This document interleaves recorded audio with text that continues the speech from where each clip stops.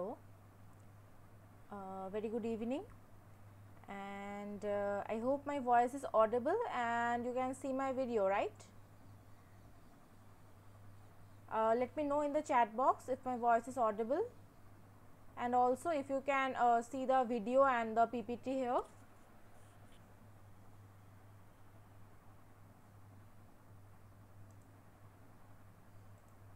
okay thank you very much. Uh, we will wait till 6 pm and uh, till more students join and then we will start uh, today's session. Okay you cannot see my uh, video i mean uh, my face. I hope it's visible. You can see the ppt right? The presentation? Let me know if you can see the powerpoint presentation. Okay powerpoint presentation is not also visible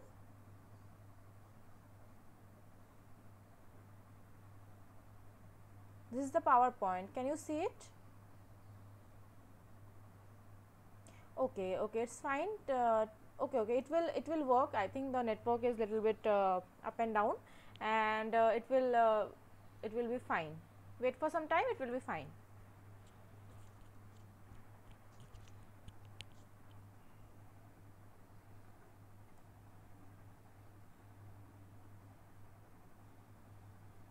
we will start once it's 6 pm okay and uh, when other students join then we will start today's session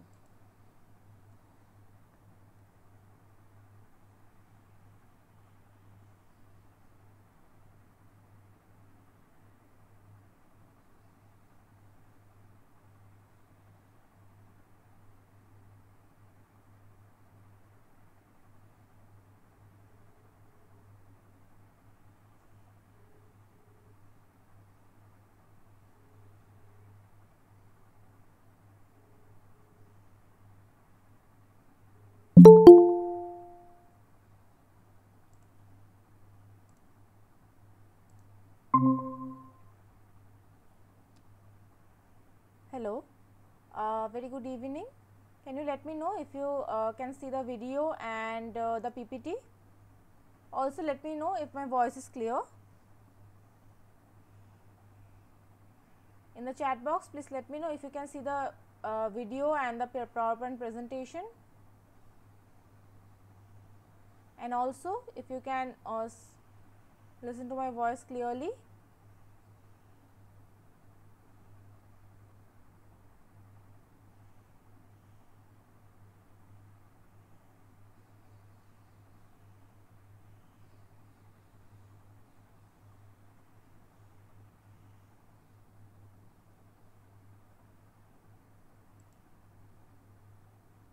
students who have joined.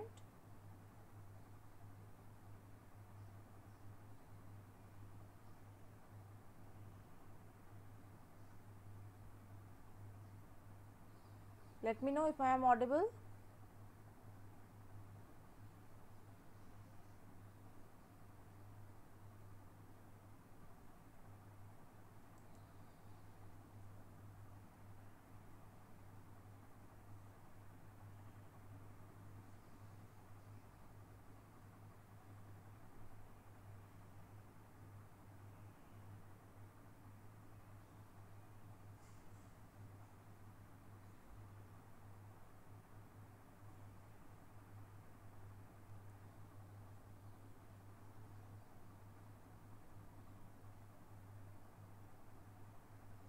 we will wait till more students join and then we will start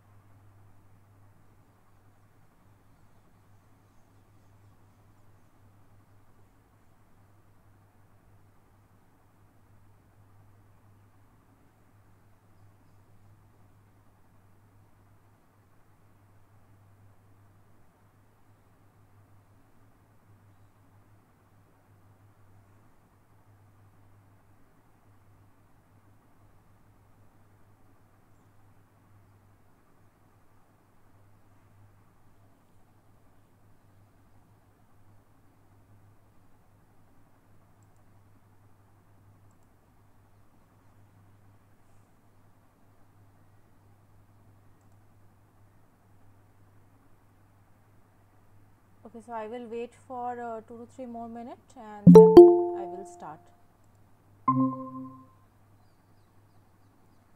So, very good evening to all of you. Uh, we will wait for uh, 2 to 3 more minutes, uh, let other students join and then we will start today's session. Meanwhile, let me know if uh, my voice is audible and uh, if it is clear and also let me know if you can see the PowerPoint presentation clearly. We will start shortly, so please wait.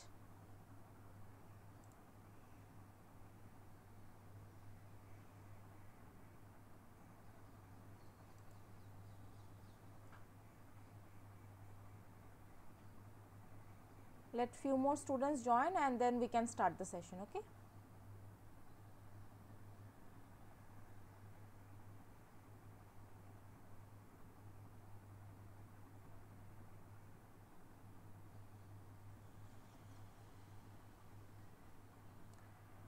Okay so uh, what i will do is i will just make the meeting open so that students can join easily.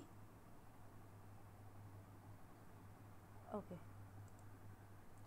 So let me start with the introductions. I think uh, eventually the students will join. So very good evening. Uh, my name is Mousumi Deb and I am the PMRF fellow from the organic uh, from the Department of Chemistry and Chemical Biology IIT ISM Dhanbad. I am your TA for this NPTEL course of uh, organic chemistry in biology and drug development. So, as all of you know it is a 12 week course and each week uh, we are having one uh, course particular topics as a course content. Along with that we have a weekly live session for 2 hours right on every Monday from 6 pm to 8 pm. So, what we will do in this live session we will solve questions in this live session. We will solve the MCQ questions. These type of MCQ questions are given in your assignment every week. So, as you all know uh, that uh, there is a weekly assignment on the SWAYAM portal on the course page and each week you have to uh, submit the assignment on a particular deadline and uh, this um, assignment will contain some marks which will be added to you in the final certificate uh, portion. Okay, so you have to participate in this assignment portion very correctly I mean uh, properly and uh, because uh, to help you to solve with your assignments these live sessions will be held okay. so today it is the week two, two live session of our course of organic chemistry in biology and drug development.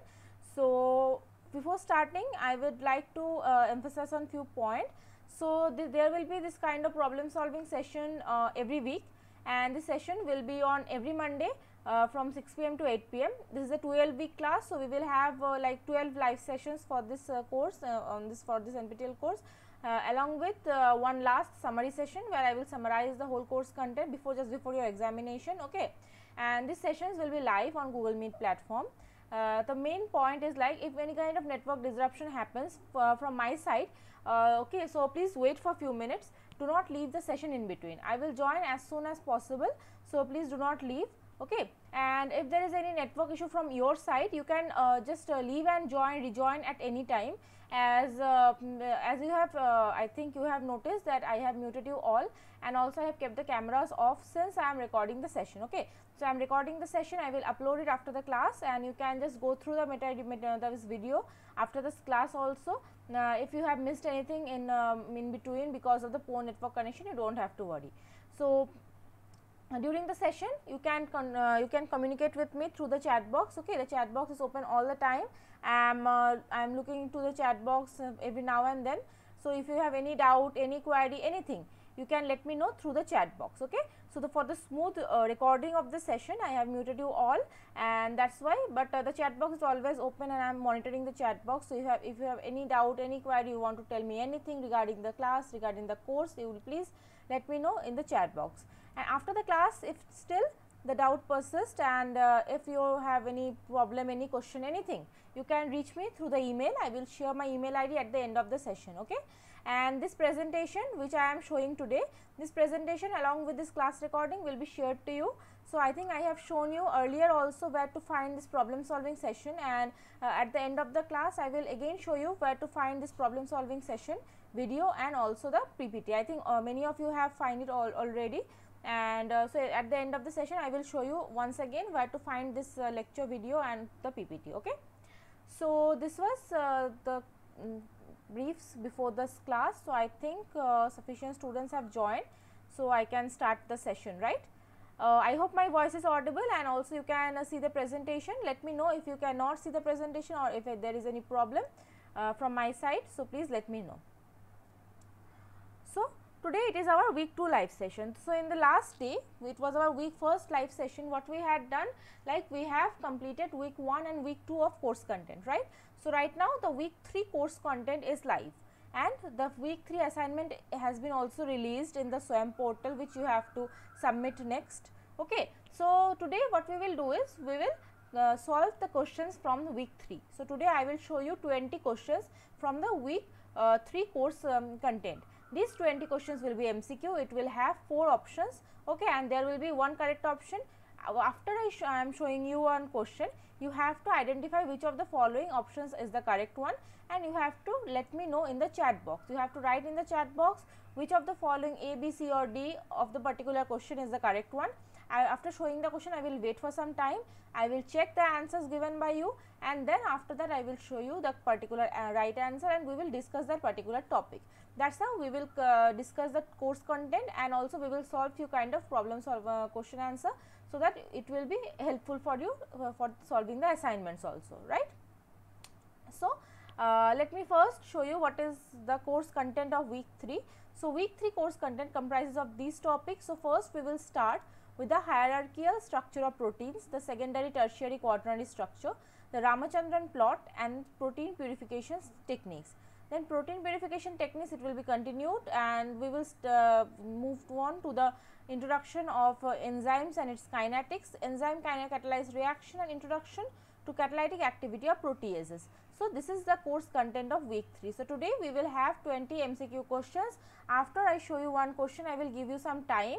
You have to solve that particular question. You have to try to answer that particular question. Even if your answer is wrong, don't you have to don't uh, have to worry because uh, we will not give you any marks based on the class uh, answering okay? But if you answer it will be better for you and also for me because i will understand that you are understanding the topic or not. Okay so try to answer the question once i show you and even if your answer is wrong there is nothing to worry so please participate okay? So now i will uh, move toward to the question answer session okay so, I think everything is fine. Yeah. So, now let me start. So, now I will show you the first question of today's session. So, the first question of today's session is the problem number 1 it says what are the primary stabilizing forces of alpha helix and beta uh, sheet structure. Okay. The option are number A hydrophobic interaction, number B hydrogen bonding interaction, number C covalent interaction and number D disulfide bond. So, I think the question is a little bit uh, there is a wrong because it is uh, the single stabilized force you have to identify there will be only one correct answer okay, but the stabilizing force is same for both alpha helix and beta uh, sheet structure. So, you have to identify the correct stabilizing uh, force of the uh, alpha helix and beta sheet structure of the protein. So, in our first class we have discussed about the amino acids, how the peptide bonds are formed, what are the primary structure and uh, all the techniques to identify the primary structure and the, the protein uh, peptide bond, the sequence of amino acids and all. We have discussed about isoelectric points and everything. And so, today what we will discuss is about the higher uh, structures like the secondary, tertiary and uh, mm, so on uh, structures of the protein. So, this question related to the secondary structure of protein which says that the uh, you have to identify the correct primary stabilizing force of alpha helix and beta sheet structure. Your options are number A hydrophobic interaction, number B hydrogen bonding interaction, number C covalent interaction and number D disulfide bond. Which of the following is the correct one?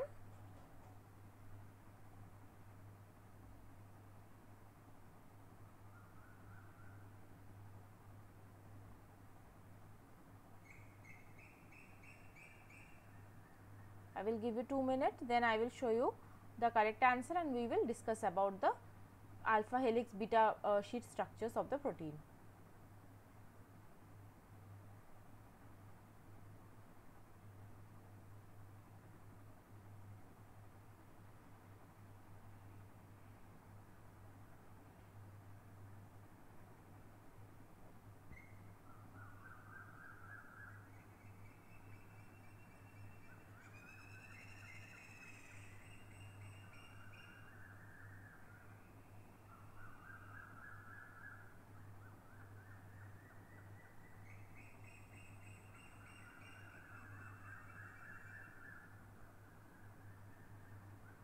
I want all of you to participate even if your answer is wrong it does not matter, but you should participate in every question.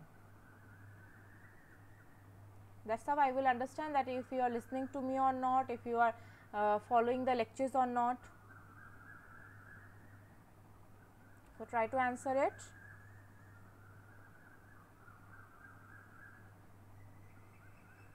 Let me check the chat box if there are any answers.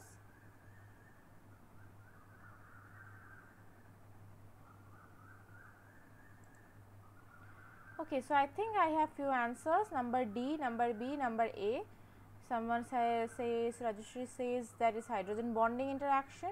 Then we have T. Okay, so I have multiple answers in this question. Others, I want all of you to participate. Okay, let me check which of the following is the correct one. Anybody else wants to answer? Okay. So, now I will show you what is the correct answer and then I will discuss it. So, the correct answer, the primary stabilizing force of alpha helix and beta sheet structure is number B, hydrogen bonding interaction. Okay. So, first we let, to, let us understand what are the alpha helix and beta sheet structure. So, basically these are known as the secondary structure of the protein. So, secondary structure of the protein consists of regions of ordered structure adopted by the protein chain. In structural proteins such as wool and silk, secondary structures are extensive and determine the overall shape and properties of such protein. However, there are also regions of secondary structure in most other proteins. There are three main secondary structures that are alpha helix, beta pleated sheet and beta turn. So, alpha helix this is alpha helix structure. So, it results from the coiling of the protein chain such that the peptide bonds making up the backbone are able to form hydrogen bonds between each other. These hydrogen bonds are directed along the axis of the helix as shown and in the figure number this one this figure. The side chains of the component amino acid sticks out to the um, uh, to the um, right angles to the helix thus minimizing the steric interaction. So, as you can see the hydrogen bonds are inside toward the axis of the helix. If it is a helix this is the axis in between okay? And the hydrogen bonds are there as you can see the hydrogen bonds are in between the carbon and carbon of one amino acid and the NH bond of the next amino acid. And the side chain the R's they are directed outside the helix okay? And that is how they um, since they are outside the right angle to the helix uh, that is how uh, what happens? That particular steric interaction or the steric uh, repulsion these are minimized.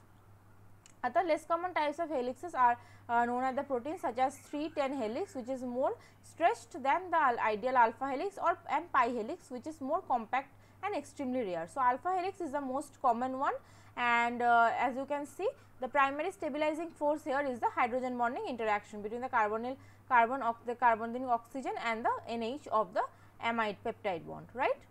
And then we have the beta pleated sheet. So, beta pleated sheet is the layering of the protein chain one um, uh, on top of another as you can see in this figure.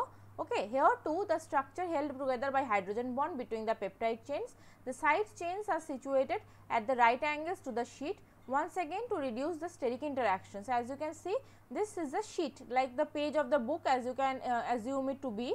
So, if it is a page of a book, so what uh, will happen? This amide the peptide bonds are on the page and the R's the, the, uh, the side chains are above the beta pleated sheets okay that's why that's how it minimizes the steric interactions the chains of the beta sheet can run in opposite direction antiparallel or in the same direction and here also the primary stabilizing force is the hydrogen bonding interaction and then we have the beta turn. So, beta turn is basically now when the in the beta pleated sheet as you can see the hydrogen bonding that uh, one and the then other the hydrogen bonding are alternative, but in the beta uh, sheet what happens the hydrogen bonding happens between first and third um, of the peptide bond. So, as you can see here in the peptide bond this is the first, this is the second, this is the third. So, as you can see here not the first and third are uh, bonded to each other, but in when what will happen if the first NH will interact with the third carbonyl carbon it there it will create a bend which is known as the beta turn or beta bend. We will discuss the beta bend um, uh, again in later of our slides. So, basically remember uh, that the secondary structures are mainly of two type alpha helix and beta pleated sheet and we have less common beta turn also and all in these all three things the primary stabilizing force is the hydrogen bonding interaction. Okay. So, am I clear? Do you have any problem in this first question? If you have any problem, you can let me know. So, in the chat box, the chat box is always open, right? So, if you have any problem at any point of the class, let me know. Okay, I will try to solve it uh, in the class and if I cannot solve it in the class, I will uh, answer you through email or we can discuss it in the next class also. Okay, but uh, let me know as soon as you uh, counter a problem, let me know in the chat box. So, I think it is clear. Now, I will move toward the next problem. So, problem number 2 it says that which amino acid is incorporated into the polypeptide chain to induce flexibility and which amino acid is termed as helix breaker. Your options are number A alanine glycine, number B glycine proline, number C proline glycine, number D histidine and proline. So, you have to identify the amino acids respectively. Which amino the first ones so basically the for the options are um, for amino acid incorporated into the polypeptide chain to induce flexibility and the second amino acids options are given for the which amino acid is termed as helix breaker. So, you have to identify the correct option, the correct set of amino acids which are induce uh, which induce flexibility and which is termed as helix breaker. Again I will give you 2 to 3 minutes, think and try to answer the question. All of you please participate even if your answer is wrong it does not matter but uh, whatever you think is the correct option let me know.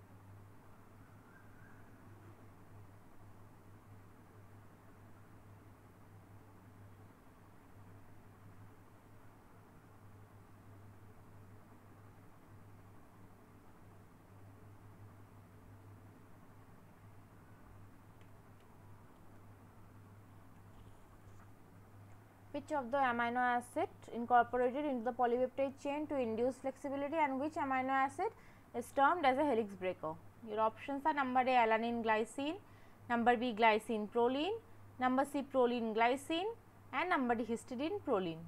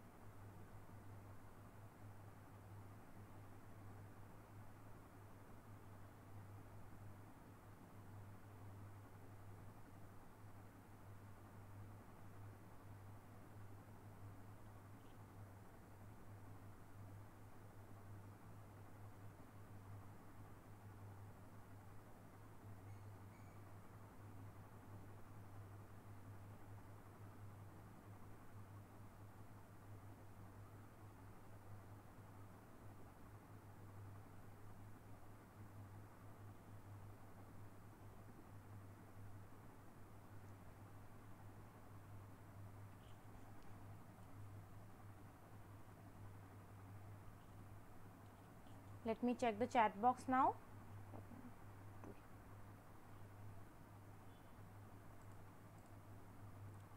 Okay, I have few answers. So, number C, number as for proline and glycine, number C, number A. Okay, I have again multiple answers. Let me check which of the following is the correct one.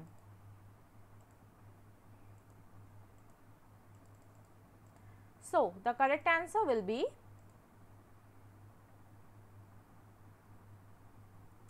number B glycine and proline.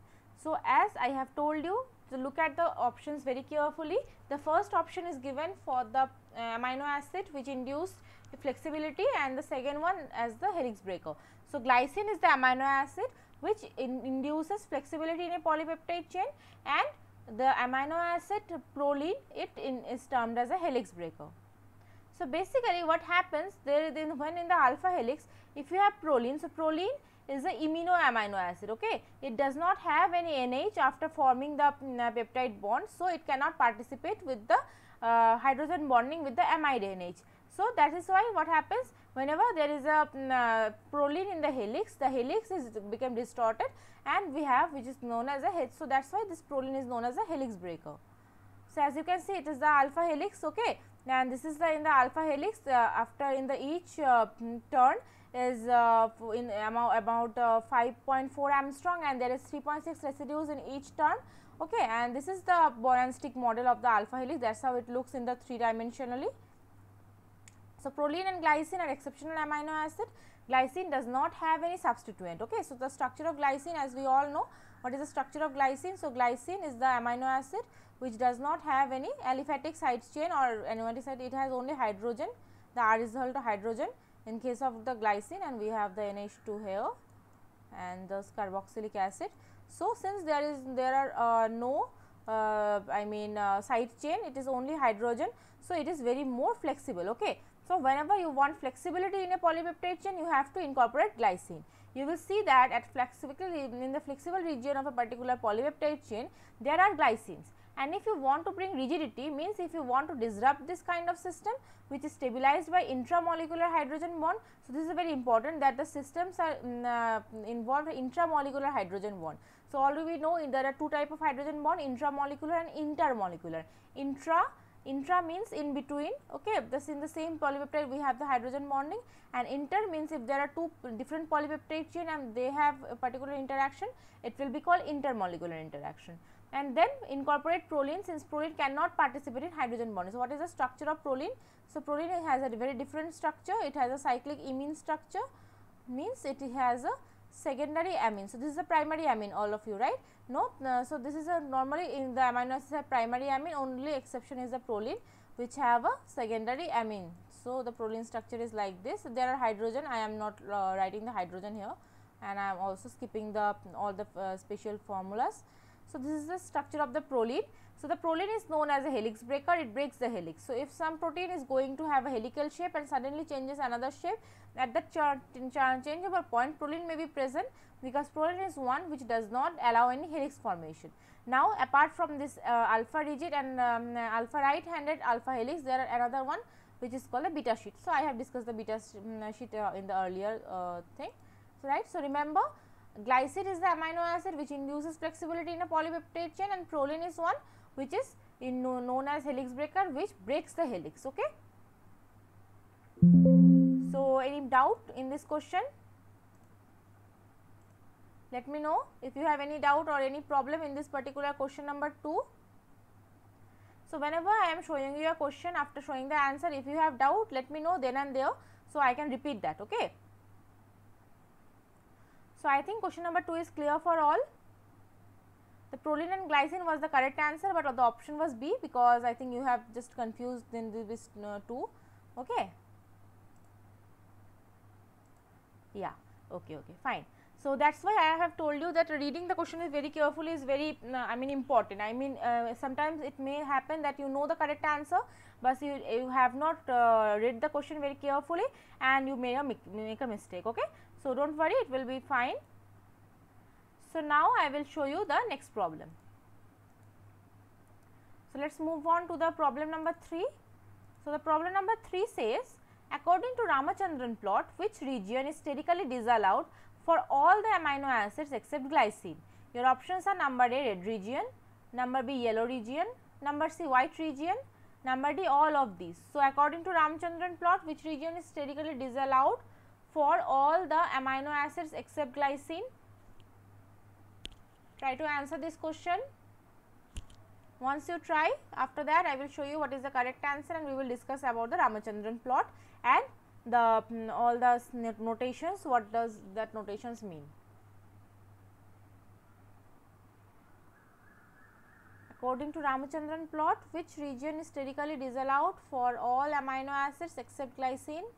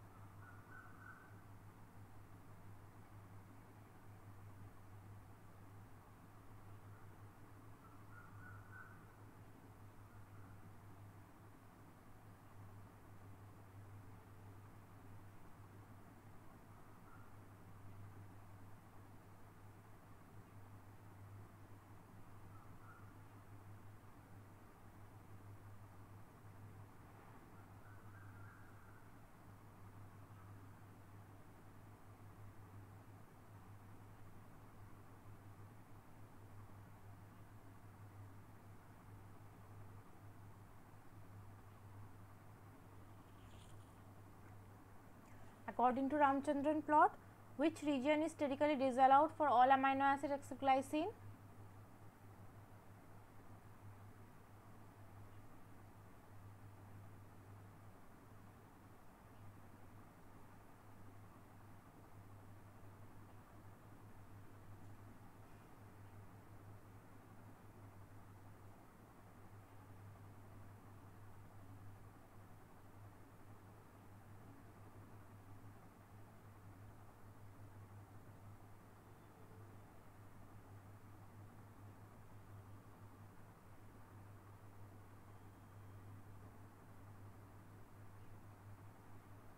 Me check the chat box.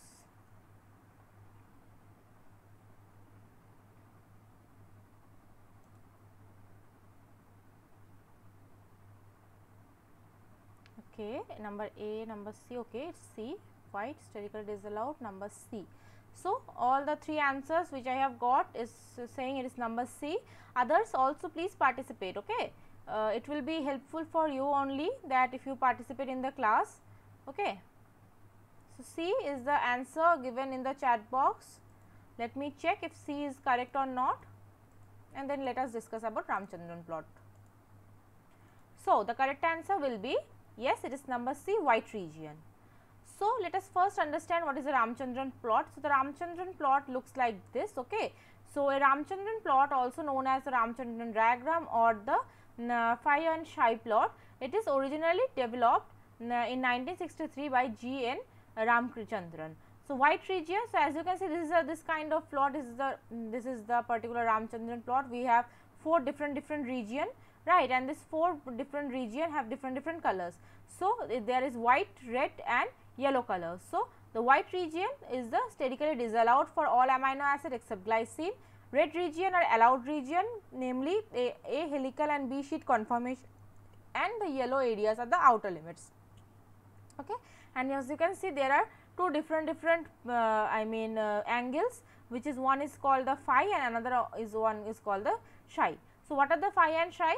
So, uh, the Ramchandran plot provides an overview of allowed and disallowed regions of torsion angle values. It serves as an important indicator of the quality of protein three dimensional structure. Torsion angles are also known as the dihedral angles.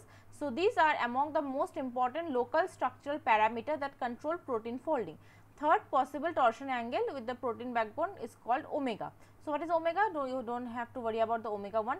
So, there are two torsion angle mainly one is phi and another one is psi.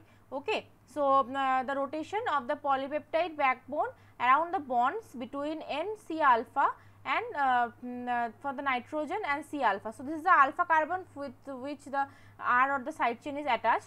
Okay, the angle, the um, torsion angle or the dihedral angle between the nitrogen and um, alpha carbon, it is known as the phi and the torsion angle or the um, dihedral angle between the carbonyl carbon, uh, carbonyl carbon and the um, C alpha, this is known as the psi. Okay, and it provides an easy way to view the distribution of torsion angles between the protein structures. So, what is the significance of the Ramachandran plot? Ramachandran plot was the first verified tool for protein structure. It displays the dihedral angles or the torsion angles phi and psi of all residues. It is a very powerful tool to identify errors in the protein structure. It has become a standard tool to determining protein structure and in defining secondary structure in terms of the alpha helices and beta sheet contents. It allows the display of distribution of residues in the protein in terms of their phi and psi angles. The region in the plot helps to identifying residues that are allowed and disallowed regions of the Ramachandran plot. So, what you have to remember what are the different different regions of Ramachandran plot, what is the allowed region, what are the uh, what are regions are not allowed, what are the parameters, what is psi and what is phi you have to remember these things from the Ramachandran plot and also the significance of Ramachandran plot is very important which you have to understand and which you have to remember. Okay. So, I think it is clear I think uh, I have got uh, 3 answers and all the 3 answers has said that it is the number C. So, I hope problem number C the Ramchandran plot is uh, some sort of clear to you. Just you have to remember what is the parameters, what is phi, what is psi and you have to remember the regions. Okay? And also remember the significance of the Ramchandran plot. So, this was the problem number 3. Now, I will move toward the next problem. So, problem number 4 says which of the following statements is not true for beta bands? Your options are number A hydrogen bond stabilizes the beta band structure, number B proline and glycine are frequently found in beta turns, number C it occurs at protein surfaces and number D it gives a protein linearity rather than globularity. So, you have to find out the statement which is untrue, which is not true regarding the beta band. Wherever there, whenever there is a question about this true, false, uh, correct, incorrect, please read the options very carefully because most of the students do mistake in this parts. Okay. So, read all the four options very carefully and let me know in the chat box which of the following you think is the statement which is not true regarding beta bands. Beta bands are same as the beta turn which I have discussed just in the first question itself and here I will discuss it in more detail also. So, read the options carefully and let me know.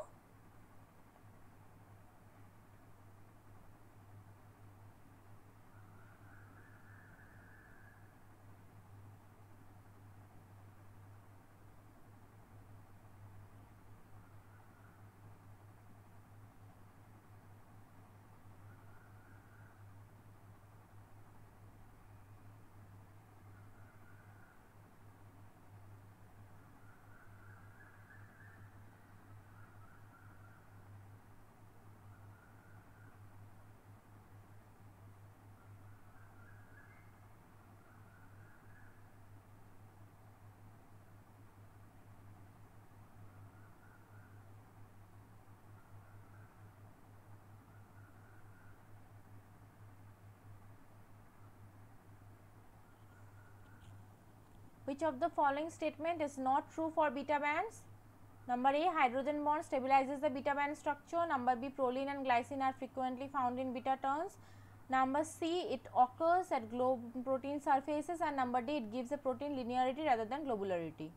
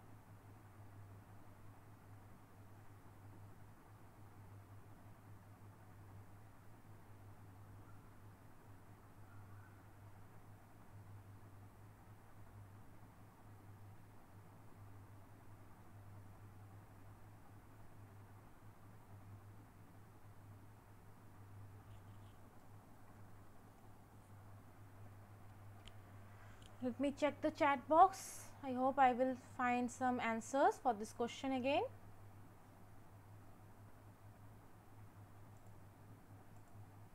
Okay, I have few answers. So, number D, number D and number A. So, I have two number D and one number A. Okay. Let me check which of the following is the correct one number D or number A or any option else. So, the correct uh, answer for this question the statement which is not true regarding beta bands is number D that it gives the protein linearity rather than globularity. So, beta bands as I have discussed it permits the change of the direction of a peptide chain to get a folded structure. It gives protein globularity rather than linearity. Hydrogen bond stabilizes the beta band structure and uh, the proline and glycine are frequently found in the um, beta band. So, beta turns, beta turns are often promote uh, the formation of antiparallel beta sheet. It occur at protein surfaces and involve four successive amino acid residues. So, basically this is the structure of beta band, this is a type 1 and this is a type 2. So, more or less it is a similar only the, the difference is that the direction of this carbonyl carbon is here it is inward and this is the it is the outward and this is the a beta turn allows the polypeptide chain to turn abruptly and go to the opposite direction. This is important in allowing the protein to adopt more globular compact shape. The hydrogen bonding interaction between the first and third peptide bond uh, is uh, the turn is important to stabilizing the turn and less abrupt change in the direction uh, of the polypeptide chain can also take place through the longer loops which is less regular in their structure, but often rigid and well defined. So, this statement number D which says that it gives protein, protein linearity rather than globularity is false because beta turn indeed it provides the protein with a globularity or a globular shape rather than the linear shape okay it disrupts the linear shapes. Now, I will move toward the problem number 5. So, if you have any doubt any query at any point please let me know if you do not understand a particular question I will repeat it uh, then and there okay.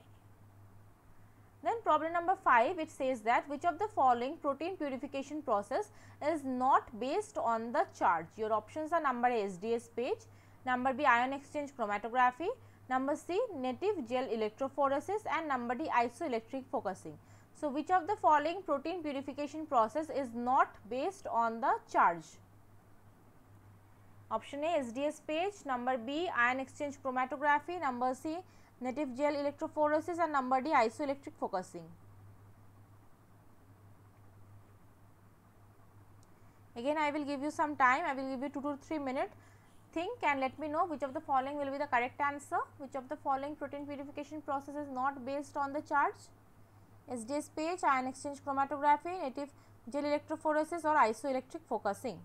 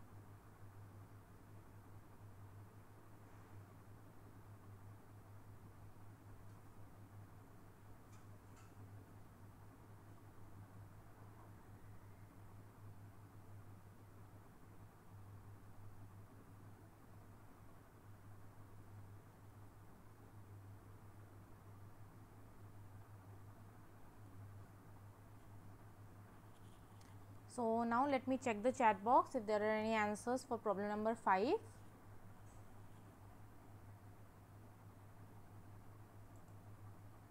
Okay, I have the answers like it says number C, then number A, SDS page, and then number D also. So, okay, only three persons are answering. So, I want all of you to participate. Okay. Uh, so, all who are present in the class, who are listening properly, please answer the questions.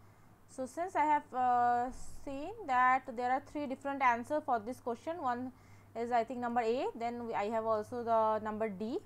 So, let me check which of the following is the correct answer for problem number 5. So, it says which of the following protein purification process is not based on the charge. So, the correct answer will be number A SDS page. So, SDS page is the technique which is not the purification the separation does not uh, is not based on the charge. So, let me uh, discuss. So, generally SDS means uh, sodium dodecyl sulfate. Okay. So, basically it is a long uh, chain of the hydrophobic chain which have a negative charge. So, okay. And uh, the SDS page the food form is the mm, uh, your uh, sodium dodecyl uh, sulfate SDS and page is the polyacrylamide gel mm, electrophoresis it is also known as. So, what happens here that this particular um, SDS is negatively charged. Okay. So, the proteins it may have positive charge may have negative charge as you can as you know the few amino acid they are positively charged few amino acid have the negative charge. So, based on the side chain present the protein may have positive or may have negative charge. So, there is a no constant size and charge relationship uh, which we need. That is why we add the SDS to the particular polypeptide chain and it has a negative charge and binds to the protein evenly.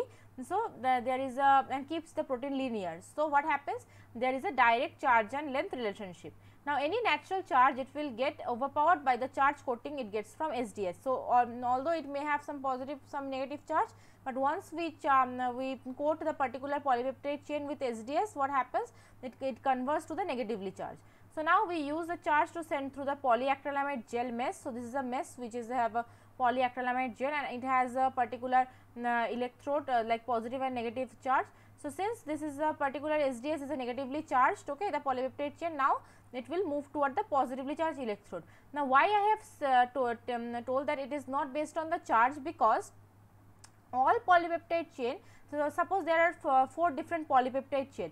So all the four polypeptide different polypeptide chain will have the negative charge once we use the sds so why how the separation will happen? So the separation will happen based on the particular the molecular weight and particular size of the polypeptide chain. So longer things get tangles in the mesh and it will move slowly. So, the polypeptide chain which are bigger in size it will tangle more uh, intensely into the particular polyacrylamide gel mesh and they will move slowly in the particular that uh, gel. Okay and the smaller and uh, the smaller polypeptide chain they will travel faster.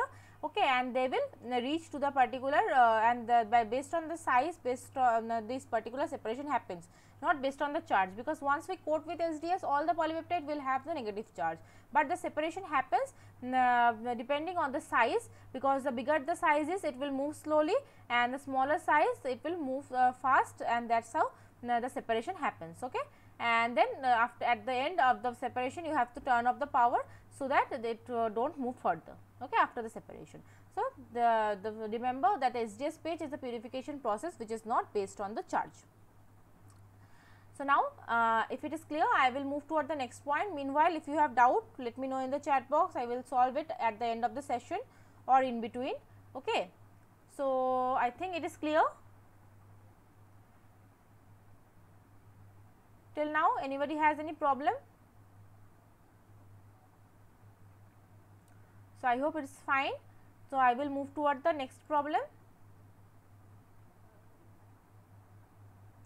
So, the problem number 6 it says that which of the following statements is false for the gel filtration technique. Your options are number A it is also called size exclusion chromatography. Number B chemical polymers can also be separated by this technique. Number C small size protein will elute first followed by big large size ones and number D different sized cut off gels are used to separate the proteins. Which of the following statement is false regarding the gel filtration technique? Your options are number A, it is known as the size exclusion chromatography. Number B, chemical polymers can also be separated by this technique. Number C, small size protein will elute first followed by large sized one and number of different sized cutoff gels are used to separate the proteins. Again I will give you uh, 3 to 4 minutes. Think, read the options carefully and let me know in the chat box which of the following you think is the correct answer.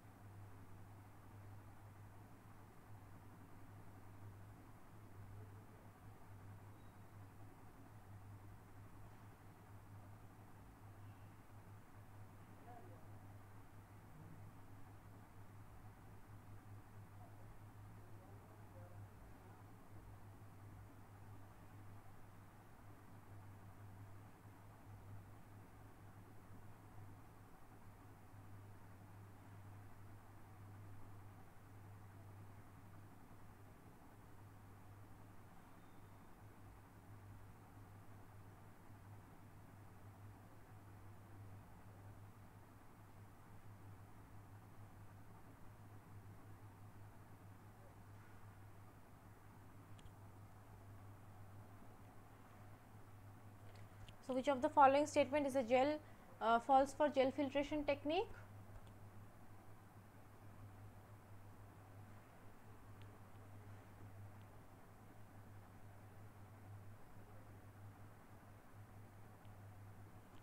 Let me check the chat box.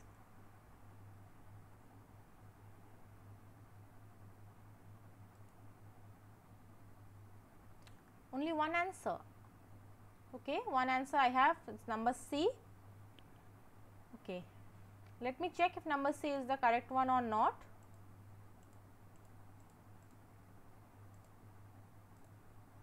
So the statement which is false for gel filtration technique will be very good. The student who have answered it one student have answered it correctly that it is number C. Small size proteins will elute first followed by the large one. This statement is the false okay it is not correct. So, now let us first understand what is the chromatographic technique. So, basically uh, chromatography encompasses of a variety of techniques that involve a mobile phase flowing through a bed of stationary phase. A mixture of solutes is resolved and or separated as a result of such differences in affinities of the solutions for the mobile phase relative to the stationary phase. A solute that has more affinity to for the mobile phase move forward with the mobile phase whereas the solute which has more affinity for the stationary phase it is retarded. So, these the solutes are uh, separated into the bands based on their distribution between phases. Molecules of biological interest are separated by resolved um, or resolved by variety of chromatography techniques including adsorption chromatography, ion exchange chromatography, partition chromatography on paper or thin layer chromatography, gas liquid chromatography, molecular exclusion chromatography, molecular sieve or gel filtration. Chromatography it involves a mobile phase which can be a liquid or gas flowing over a stationary phase which can be a solid or liquid. As you, you can see okay there is a solute and there is a stationary phase is a circle circular one it is the stationary phase it can be solid or liquid and mobile phase which is M it can be liquid or gas and uh, the, mm, uh, the, the mixture of solute is separated based on the solute components degree or affinity toward the mobile or than the stationary phase. If component 1 has a stronger affinity for the stationary phase then component 2 then component 2 will migrate to the column rapidly than component 1. Okay. So, now let us come to the uh, particular gel filtration chromatography which is also known as a size exclusion chromatography. So, basically gel filtration or size exclusion chromatography it depends on the size of the particular uh, protein molecules. Okay, The molecules, the peptide molecules or the protein molecules, the size of the molecules is basically um, the uh, way which through which we will uh, separate the things. Okay. Uh, so, how it happens? So, basically this is the stationary phase. Okay. And the stationary phase are porous molecules and uh, if the particular protein is small in size, so what will happen? This small protein will enter to the pores of the stationary phase and it will bind strongly with the stationary phase. Now, when there is a large molecule, the, the large molecule uh, it cannot bind with the stationary phase because it will not get fit into the pores of the stationary phase and it will stay in the solution phase only. Okay. So, whenever there is a mixture of a large and uh, smaller size protein and large size protein, so what will happen? The small size protein will bind strongly with the stationary phase and it will stay intactly into the column, but the large size molecules due to their inability uh, to enter the pores they will move toward the particular solution phase and they will elute first from the particular column. So, the retention time is less for the large retention time is known as the time uh, through which this particular uh, protein stays into the particular uh, column okay and the retent that is why the first the exclusion will be for, for large size ion and then after large size and a small size and it, it will get eluted. So, this is the difference of the size it is a uh, separation happens in the size exclusion or uh, chromatography or gel filtration chromatography. Now, let me ask you that uh, if you are given 4 or 3 or 4 different proteins and you are given the size of the protein or the molecular weight of the particular protein and you are asked to identify how it will elute. So, you, now you know that the larger the size uh, so it will elute first and the smaller the size or the uh, low is the molecular weight it will elute later in the last position. Okay. So, this is known as the size exclusion is all about the gel filtration chromatography and I hope it is clear. If you have any doubt let me know I will repeat it. Okay. So, is it clear or not? In the chat box let me know. Okay, you have understood right what is the size exclusion chromatography. So, if you have any doubt any problem you can let me know. Okay. So, that is how this, this is not only for the size exclusion one.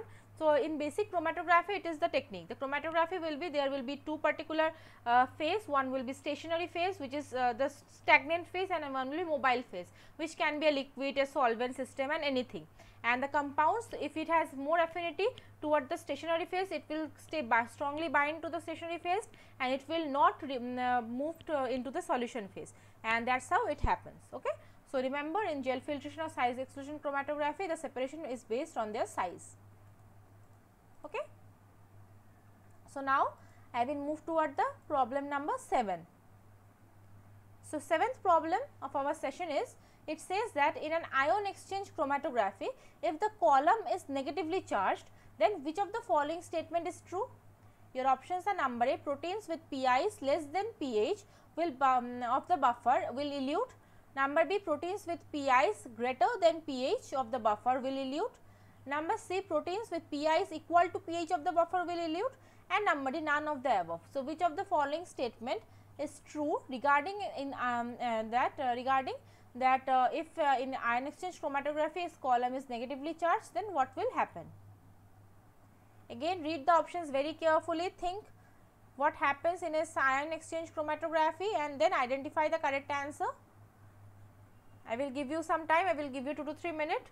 After checking your answer, I will uh, discuss this ion exchange chromatography in detail and I will discuss what of the following answer will be the correct one.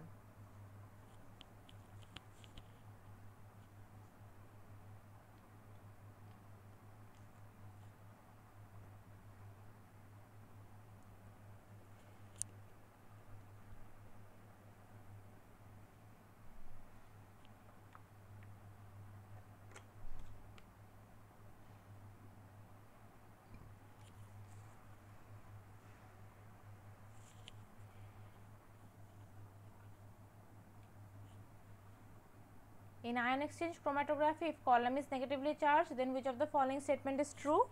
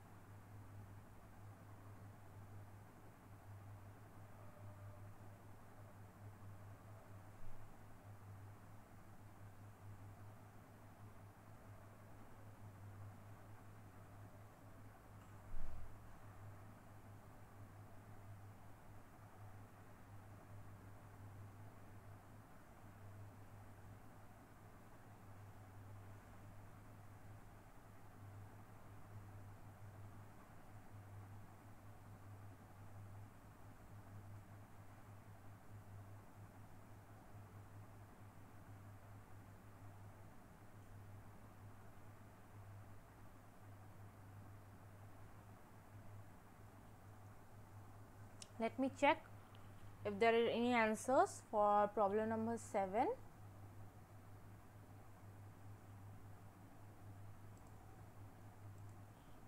negative loss okay i have answers. Number b number a resin means positively charged proteins will bind so a will be the answer. Less pi is positively less charge a. Okay let's see if a number is the correct one or not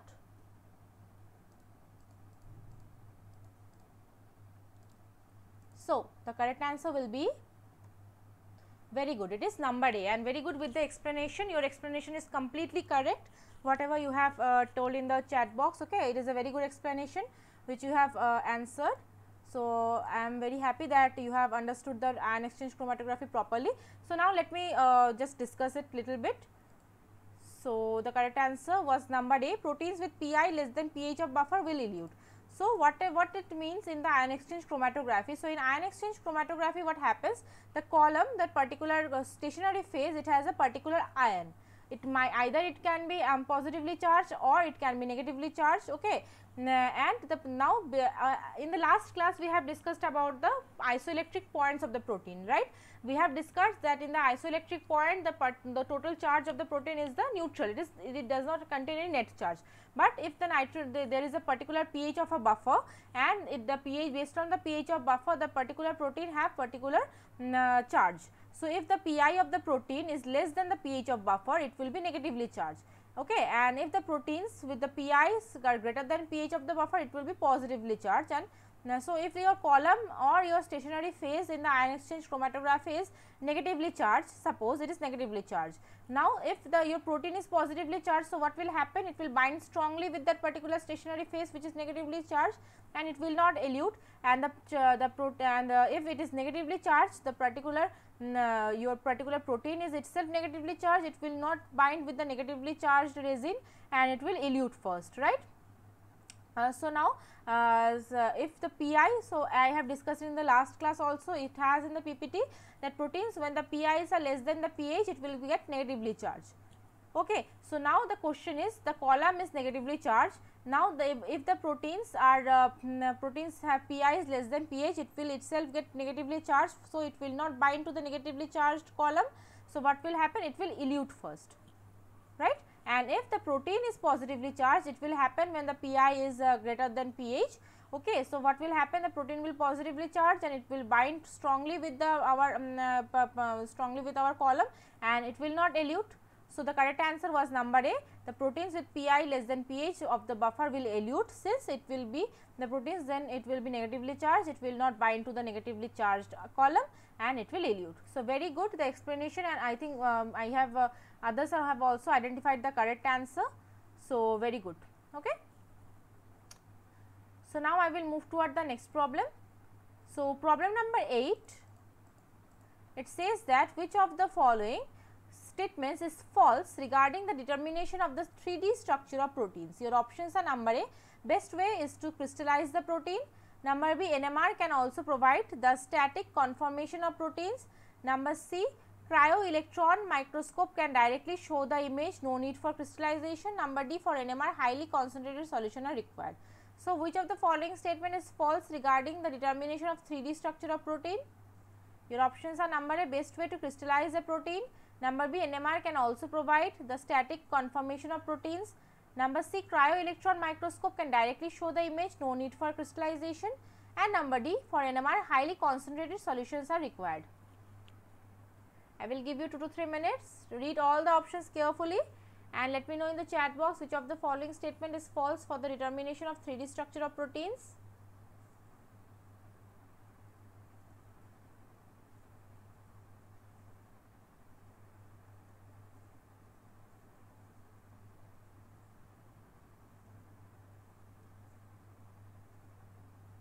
Which of the following statements is false for determination of 3D structure of proteins? Let me know in the chat box all of you. I want all of you to participate now.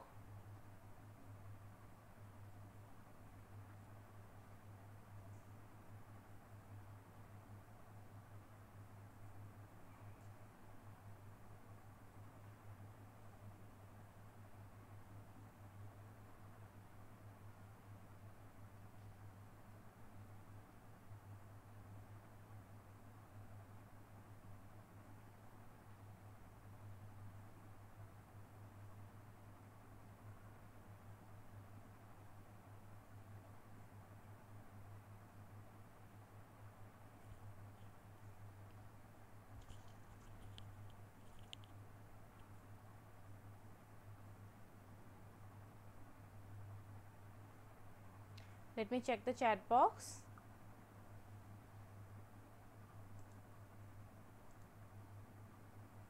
Okay, I have only one answer, number C. Okay, let me check if number C is the correct one. Others also please try to answer the questions.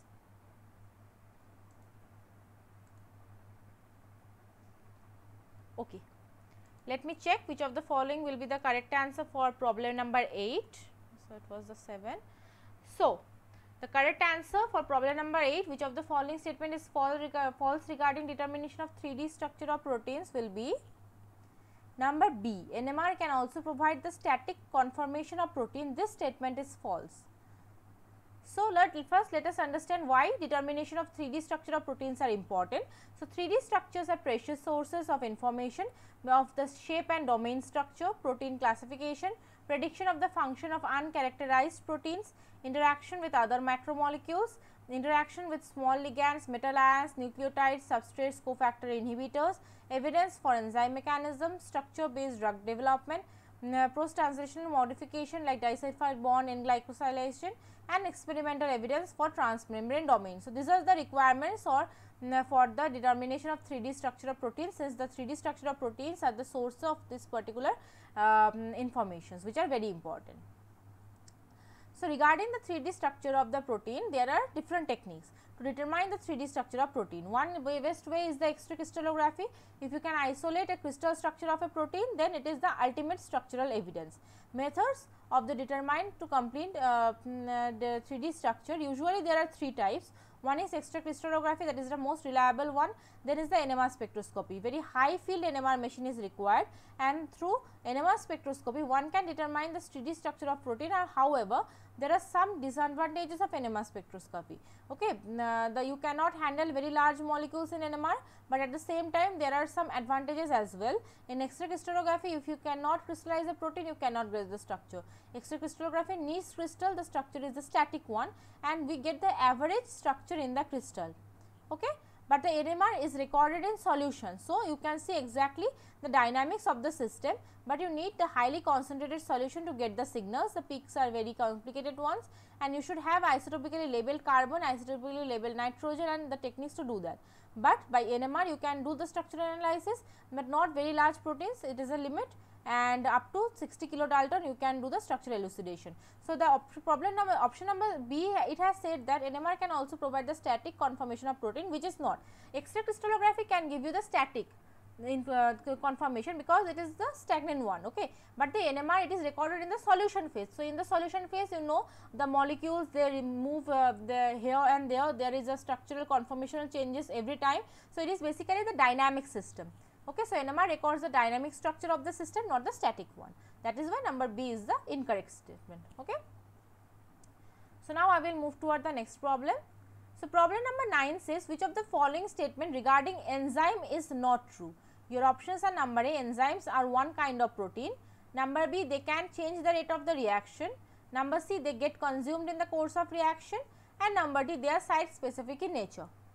So, this question is regarding enzymes and I, I know it is very easy question and all of you can answer it clear uh, I mean correctly. So, I will give you 2 minutes and then I will check the chat box. Identify the statement which is uh, regarding enzyme which is not true. Number A enzymes are one kind of proteins. Number B they can change the rate of the reaction. Number C they can uh, they get consumed in the course of the reaction and number D they are site specific in nature. So, which of the following statement uh, is not true?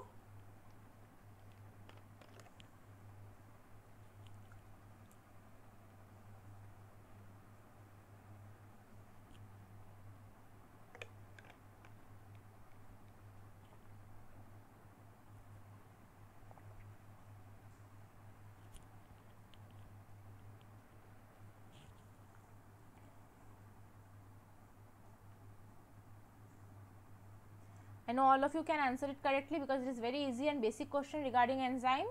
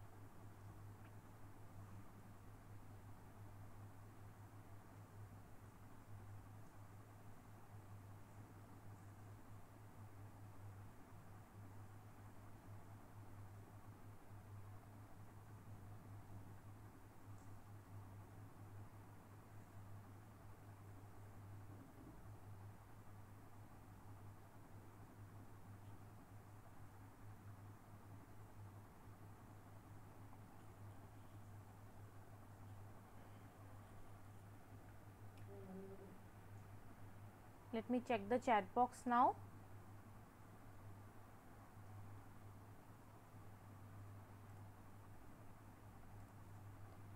Okay, again only one answer which is number C. Others please participate, you have to answer the questions, okay, otherwise I won't understand that you are following the class or not. Okay, let me check if number C is the correct answer of problem number 9. So, the correct answer will be number C. They get consumed in the course of the reaction. This statement is not true. So, what are the enzymes? So, enzyme is a basically a protein with catalytic properties due to its power of specific activation. Biological systems are sensitive uh, to the temperature change, increase of the rate of the reaction without increasing the temperature, increase the rate by lowering the activation energy. They create a new reaction pathway and they are the globular proteins with complex 3D structure and active site is where the reaction is catalyzed. So, basically this is an enzyme and in every enzyme there is a particular space or there is a particular pocket where the substrate binds. After binding of the substrate what happens the reaction happens and the, the product formation it happens okay. But uh, after the product formation the particular enzyme it is released and it is it do not it does not get consumed or there is no change of the active site. After one substrate molecule is catalyzed and the product is formed another substrate will can come and join uh, the enzyme to the active site and uh, another product formation can happen. So, in this course this particular um, particular enzyme does not get consumed and they uh, actually this is the uh, particular graph of demonstrating the stabilization of the particular uh, reaction transition. Okay. So, this is the free energy which is in the y axis and the reaction progress in the x axis. So, the starting material has to cross a particular energy barrier which is the activation energy and after reaching for reaching the transition state. After crossing the transition state the product formation happens and this is known as the activation energy which must be required uh, acquired to have a reaction. But what happens when with enzyme the with enzyme this activation energy barrier gets lowered as you can see there is a new transition state and new pathway through which the reaction proceeds now with the less activation energy. So, we have a much faster rate of the reaction. So, this is the graphical uh, representation how a particular enzyme catalyzed a reaction. Okay. So, now I will move toward the next problem. So, all of you please uh, participate okay, in the answering the questions. So, problem number 10 says which of the following statement is not true for Km and Vmax. Vmax is the maximum rate at which a particular enzyme catalyzed reaction can proceed. A small value of Km tells us that the enzyme binds strongly to its substrate. Number C, Km is the concentration of substrate at which the rate of the reaction reaches Vmax and number D, large value of Km tells us that the energy the enzyme shows a little specificity for the given substrate. So, which of the following statement is not true regarding Km and Vmax? So, Vmax is the maximum velocity or rate of the reaction of an enzyme catalyzed reaction and uh, particular uh, Km is the known as also the Michaelis Menten constant. So, now you have to find out which of the following statement is not true regarding Km and Vmax.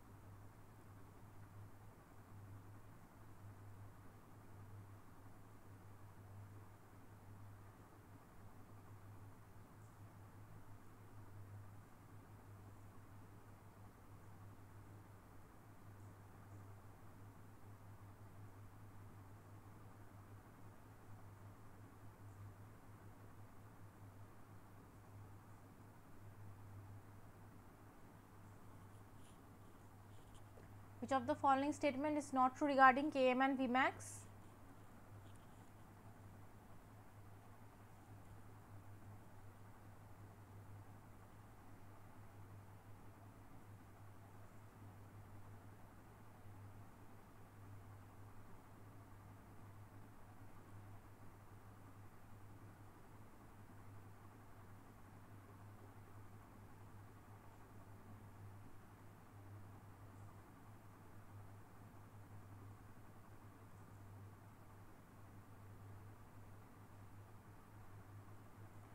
Let me check the chat box now.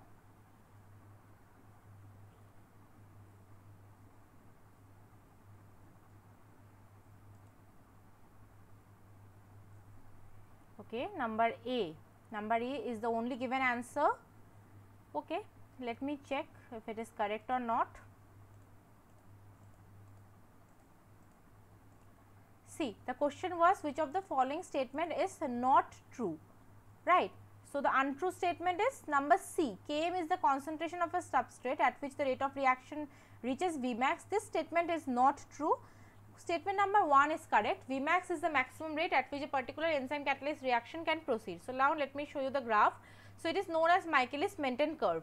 Okay so all we know that this is the michaelis menten equation um, the, there is a uh, equation which is a michaelis menten equation for the enzyme catalysis okay which says us about the velocity of the reaction enzyme catalyst reaction so this is the graph of that particular reaction here as you can see in the y axis we have the rate of the reaction and in the x axis we have the substrate concentration.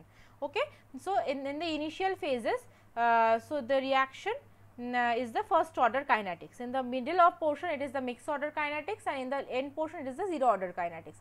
So, it is the uh, position of Vmax is the maximum rate at which the particular enzyme catalyst reaction can proceed. So, what is the Km? or which is the what is the Michaelis Menten constant it is the concentration of the particular substrate at which the rate of the reaction reaches the Vmax by 2. Okay. So, remember Km is the substrate concentration now, when the particular rate of the reaction uh, reaches to the uh, half of the maximum of or Vmax by 2. A small value of Km what it does it do it tells us about the particular uh, so as you can see uh, the small value it says that the, the enzyme binds strongly to the substrate. Okay. So, the small value of Km it tells us the enzyme binds strongly to the substrate and the large value of Km means that the enzyme shows little specificity for the given substrate. And this is the Michaelis-Menten equation uh, based on which this curve is generated V0 equal to Vmax into substrate concentration divided by Km plus S where V0 is the initial velocity in the moles per time, S is the substrate concentration in molar Vmax is the maximum velocity and Km is the substrate concentration at half Vmax. Okay. So, statement number C was incorrect one. So, now next problem. So, problem number 11 says which of the following statements is true about two dimensional electrophoresis. Your options are number A proteins are separated uh, on the basis of charge, number B proteins are separated on the basis of molecular weight, Number C proteins are separated on the basis of pi and number D proteins are separated on the basis of both molecular weight and pi. So, which of the following statement is true regarding the two dimensional electrophoresis? Again I will repeat problem option A proteins are separated on the basis of charge, number B proteins are separated on the basis of molecular weight, number C proteins are separated on the basis of pi and number D proteins are separated on the basis of both molecular weight and pi.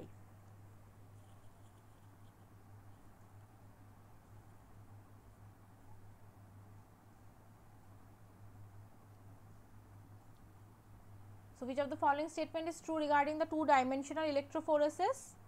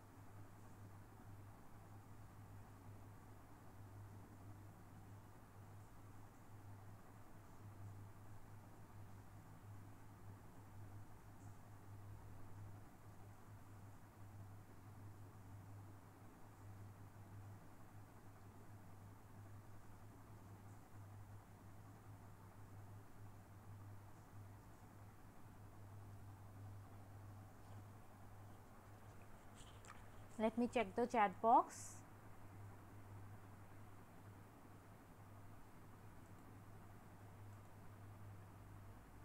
Okay, so I have few answers number C, number D and number C. So, I have three different answers for this question. So, let me check which of the following is the correct one. So, the correct answer will be number D proteins are separated on the basis of both molecular weight and the isoelectric points. So, in the 2D gel elect mm, uh, the 2D uh, 2 dimensional pro uh, in the um, proteins are separated as per isoelectric point and the um, protein mass. Separation of the proteins by isoelectric point is known as the isoelectric focusing or IEF and when a gradient of pH is applied to a gel and the electrical potential is applied across the gel making one positive and other negative. At all the pH values other than their isoelectric points protein will be charged. If they are positively charged they will pull toward the negative end of the gel and if they are negatively charged they will be pulled to the positive end of the gel. The proteins applied in the first dimension will move along with the gel and will accumulate at their isoelectric point that is the point at which the overall charge on the protein is 0 at a neutral charge. In the separating protein by mass, the gel treated with sodium dodecyl sulphate SDS along with the other reagents SDS-PAGE in 1D, the denatures the protein and then unfolds them into the long straight molecule and binds the number of SDS molecule roughly proportional to the protein's length. Because a protein's length is roughly proportional to its mass, SDS molecules are negatively charged and as a result there are all proteins have approximately same mass to charge ratio.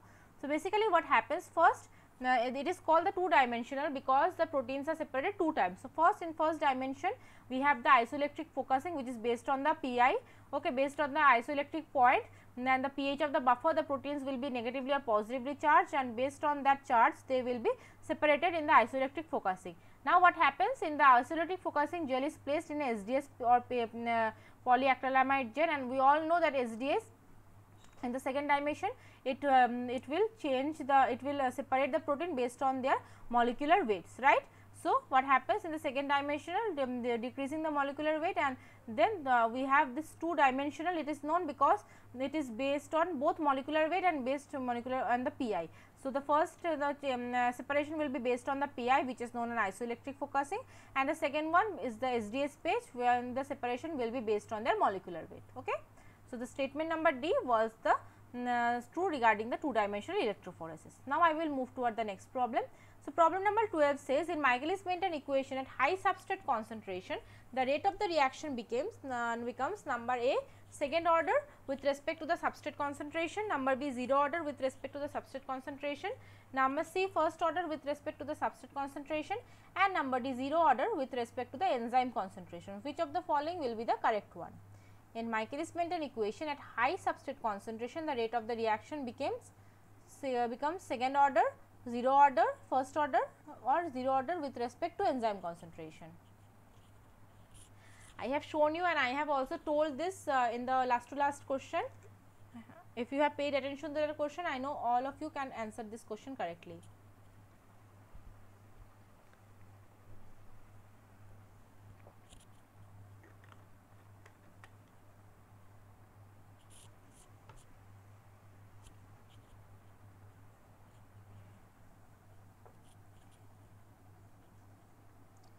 Michaelis-Menten equation at high substrate concentration rate of the reaction becomes which of the following will be the correct answer?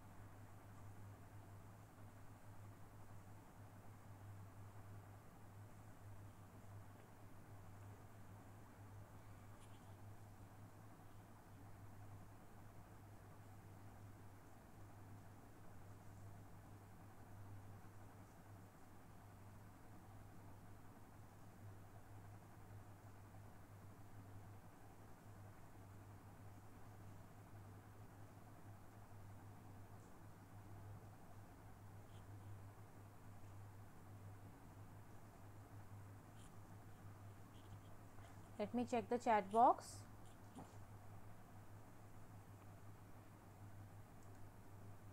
Okay. I have few answers.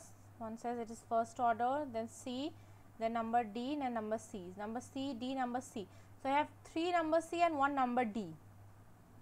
Okay so okay no no this was I think for the previous one. So I have only one answer which says it is the number C.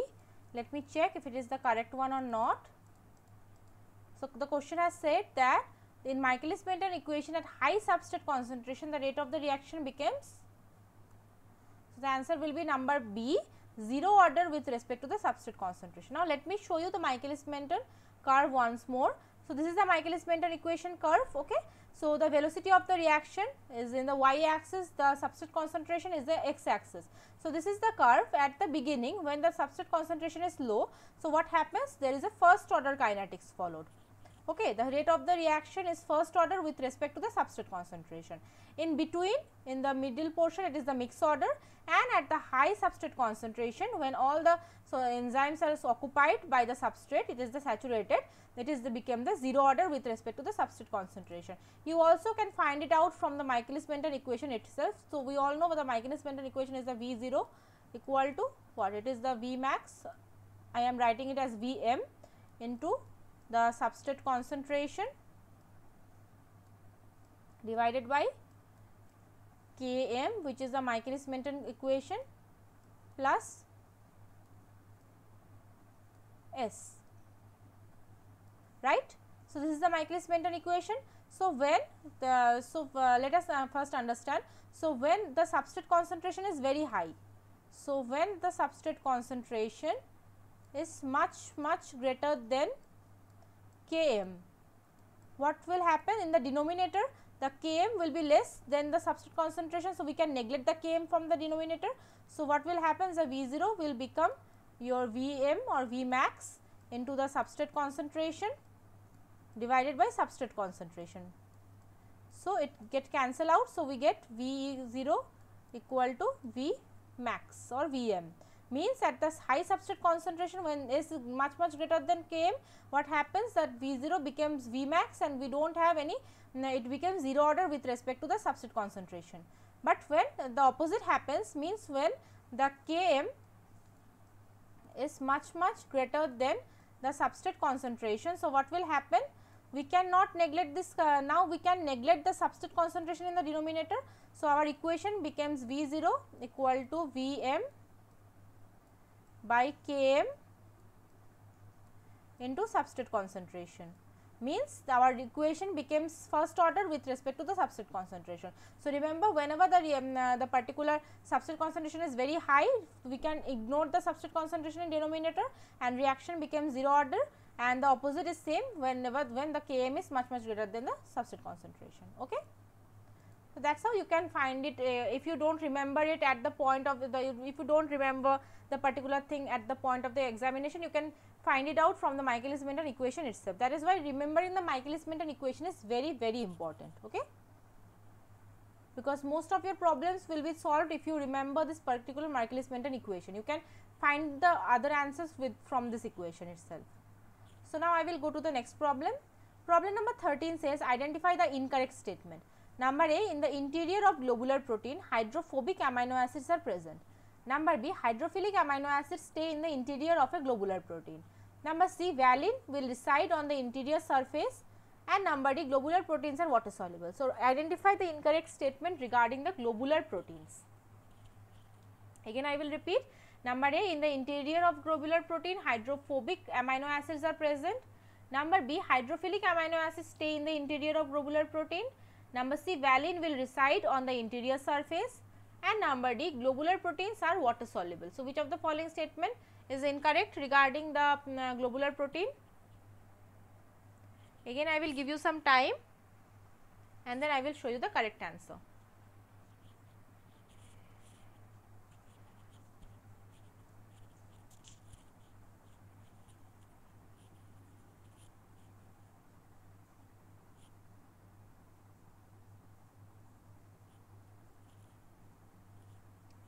Which of the following statement is incorrect regarding globular proteins?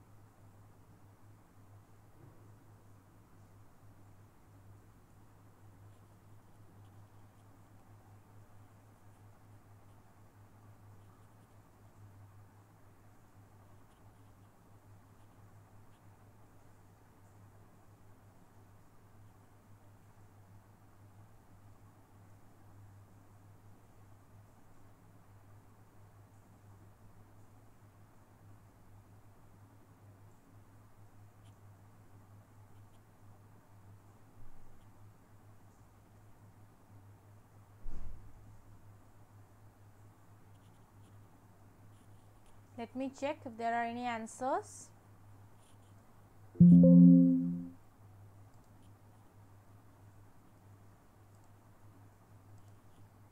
Okay, I have several answers. Yeah, zero order is was the correct one. So, number D, number B, number B. So, I have one number D and two number B as the answers of this particular question. Okay, let me check if it is correct or not, which of the following is the correct one. So, the correct answer will be yeah number B. Statement number B is incorrect regarding the globular protein. Hydrophilic amino acid do not stay in the interior of globular protein. So, first let us understand the classification of amino acid based on their polarity. So, the non-polar ones are the glycine, alanine, valine, cysteine, proline, leucine, isoleucine, methionine, tryptophan and phenyl. So, these are non-polar. So, there are the polar can be divided into three part. It can be uncharged which are the serine, threonine, tyrosine, asparagine, glutamine. So, these particular amino acids are polar, but they do not contain any charge. The charged amino acid, the hydrophilic ones, okay. The polar amino acids are considered as hydrophilic and non-polar are considered as hydrophobic. So, hydrophilic amino acids can be polar, which are this one, the charged polar, which can be the positively charged which have lysine, arginine and histidine and negatively charged is the aspartic and glutamic acid. So, now about the globular proteins. So, they are named for their approximately spherical shapes and are most abundant proteins in nature. The globular proteins exist in an enormous variety of three dimensional structure. Nearly all globular proteins contain substantial number of alpha helices and beta sheets folded into a compact structure that is stabilized by both polar and non-polar interaction. Globular three dimensional structures uh, form spontaneously and is maintained as a result of interaction among the side chains of amino acid. Most often the hydrophobic amino acid side chains are buried closely packed in the interior of globular protein out of the contact of water. Hydrophilic amino acid side chains right uh, lie on the surface of the globular protein exposed in the water. Consequently, globular proteins are usually very soluble in aqueous solution. The diversity of the protein structure reflects remarkably variety of the function performed by the globular proteins, the binding, catalysis, regulation, transport, immunity and cellular signaling. Okay. So, option number B was the incorrect statement. So, now I will uh, go to the next problem. Problem number 14 is a mathematical question which is very easy. I think all of you can do it. What is the ratio of V0 V max when the substrate concentration equal to 3 km? Your options are number A 3 by 8, number B 3 by 7, number C 5 by 7 and number D 3 by 4. I will give you 2 to 3 minutes, try to do it quickly and it is very easy, I know all of you can do it. So, try.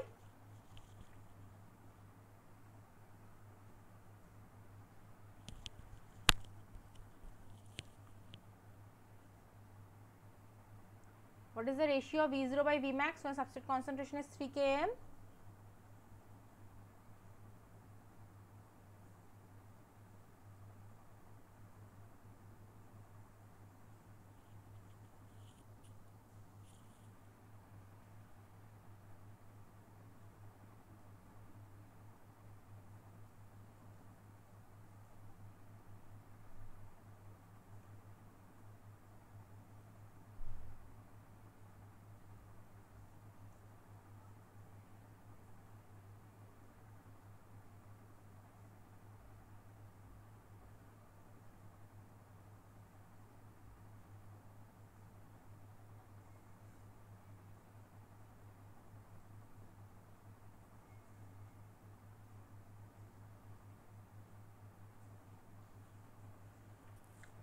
What is the ratio of V0 by Vmax when substrate concentration equal to 3 km?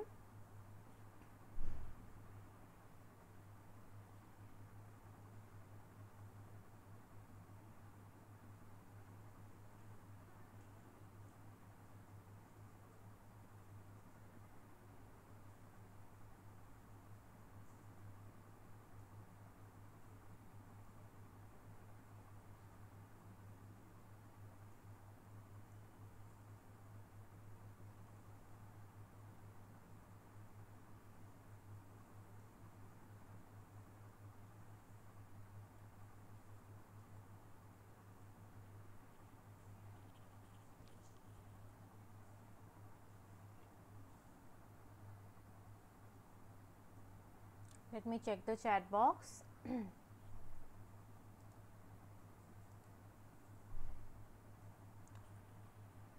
Okay, I have one answer which says it is 3 by 4. Others, I think you have not tried it. Okay, I will show you how to do this kind of problems which is very easy to solve by the way. So, the correct answer will be 3 by 4 very good whoever have answer very good.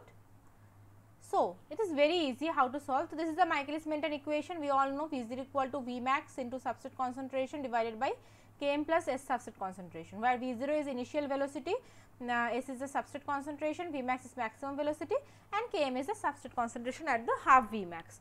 So, the question it says that now what is the V 0 by V max ratio when S equal to 3 km. So, what you have to do is you only you have to substitute the substrate concentration with 3 km in this particular equation. So, if you do it, so what will happen if you take the V max to the left hand side what will happen you will get V 0 by V max which is asked in the question and you have the substrate concentration divided by Km plus substrate concentration. Now, if you replace the substrate concentration with 3 Km, so what we will have 3 Km divided by Km plus 3 Km and we will have 3 Km by 4 Km where Km Km cancel out and we have 3 by 4. So, the ratio of V 0 by V max equal to 3 by 4. So, this is a very easy question this kind of question can be given to the mathematical questions. So, just uh, uh, remember the Michaelis Menten equation replace the values and you will get the correct answer right. So, now I will go to the next problem. Problem number 15 says which of the following statement is false regarding the induced fit hypothesis. Your options are number A the substrate specificity range is very high, number B the active site is rigid, number C more accepted model for enzyme substrate complex than lock and key theory and number D conformational changes occur in enzyme and substrate. So, which of the following statement is false regarding the induced fit hypothesis? So, there are very two popular hypotheses regarding the enzyme catalysis one is known as the lock and theory and another one is the induced phase hypothesis. So, in lock and key theory basically it is uh, said that uh, the particular enzyme and the substrate they are basically like lock and key. So, the enzyme is like the lock it has a particular position uh, which is exactly fits a particular substrate which is a just looks like a key. Okay. So, one particular uh, substrate can bind to only one particular enzyme uh, as we have only one particular key for a particular lock. So, that is a lock and key theory basically and another is the induced fit hypothesis. The following first you identify the st false statement regarding this, this hypothesis among these four then I will discuss it.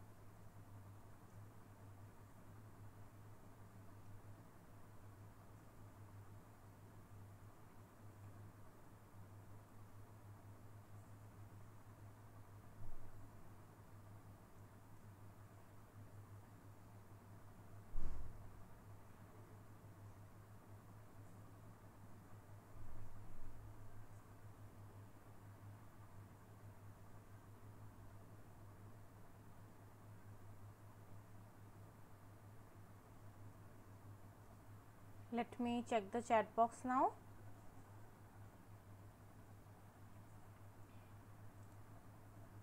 Okay i have few answers i think. Number b and number d. So i have two different answer one thinks it's number b and one thinks number d. Let me check which of the following is the correct one. So the correct answer is Number B, the active site is rigid. This statement is false regarding the induced fit hypothesis. So, what happens during induced fit hypothesis? We have an enzyme, we have an active site and conformational changes happen in, in both enzyme and substrate. That conformational changes will make the enzyme suitable, the active site suitable for the substrate. Okay, so, whenever the substrate is in the vicinity of the enzyme, the based on the um, uh, shape of the substrate, the active site uh, of the enzyme changes a little bit so that the substrate get fits into the enzyme and we get the product. So, the substrate specificity for this enzyme um, induced hypothesis is very high, but the active site is not rigid it is flexible so that the conformational changes can happen. It is the more accepted model for enzyme substrate complex than lock and key theory and the conformation changes occur in enzyme and substrate. Okay. So, statement number B was the false one. So, now next problem. Problem number 16 says that fibrous and globular protein are associated with dash and dash structure of the proteins respectively. You have to fill in the blanks. Number A secondary primary, number B primary tertiary, number C secondary tertiary and number D tertiary secondary. So, the fibrous and globular proteins are associated with which particular structures of the protein? Number A fibrous with secondary, globular with primary, number B fibrous with primary, uh, globular with tertiary, number C fibrous with secondary, globular with tertiary and number D fibrous with tertiary and globular with secondary. Identify the correct answer.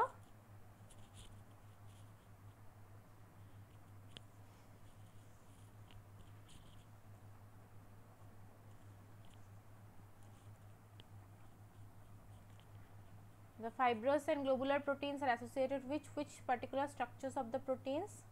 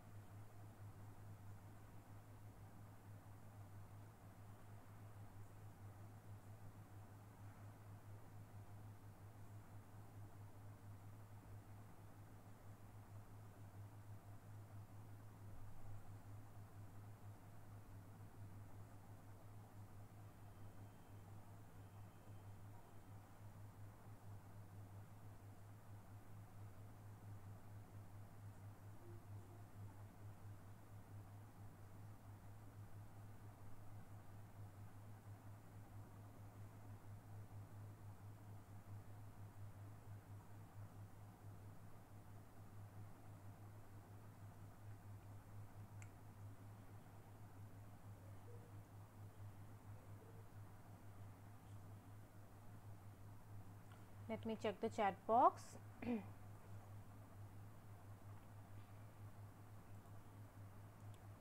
Okay so i have received answer of number c and number b. So number c and number b are the two answers. Let me check which of the following is the correct one. So the correct answer will be number c secondary and tertiary fibrous proteins are associated with the secondary structure and tertiary ones are associated with the uh, globular proteins. So, fibrous protein when an amino acids are joined to make a straight chain and make a fibrous and sheet like structure is known as fibrous protein and when the polypeptide chain of amino acid become folded and makes a globular structure or as a ring and spherical it is known as the globular protein. So, what are the differences and the um, similarity and differences? So, fibrous proteins are a class of insoluble proteins which constitute a main structural elements of our body okay and uh, like hair skin okay and the globular proteins are the sol proteins soluble in water that tend to involve in metabolic function like enzymes and all. The fibrous protein has a long and narrow shape globular one has a round and spherical shape.